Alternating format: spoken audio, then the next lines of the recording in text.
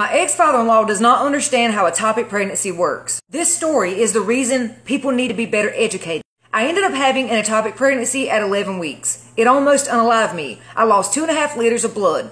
Now, two weeks prior at my mother-in-law's house, I fell out of a chair. My father-in-law flipped out saying I was being careless and that I was going to end up unaliving my unborn child. After the ectopic pregnancy, he had the audacity to say to me, What happened? You unalived my baby. He didn't understand how ectopic pregnancies are spontaneous and cannot be prevented. I think mine was due to recently coming off the Depo shot. My father-in-law is a narcissistic abuser to my mother-in-law. They are now my ex-in-laws because my ex-husband is also abusive. Even while I was in the hospital, two hours after surgery for my ectopic pregnancy, my husband called me saying I needed to sign out of the hospital and Uber because we were broke. He never worked. All finances were up to me. I'm happy now with a man who treats me how I deserve and loves me. This story is the reason why I say that people need to be better educated on the female body, pregnancy, ectopic pregnancy, menstrual cycles, especially politicians. Y'all remember a while back when they were trying to ban abortion, and there was a man speaking about ectopic pregnancy, and that man had no idea what ectopic pregnancy was. He couldn't explain it, he couldn't understand it, he had no idea what he was talking about.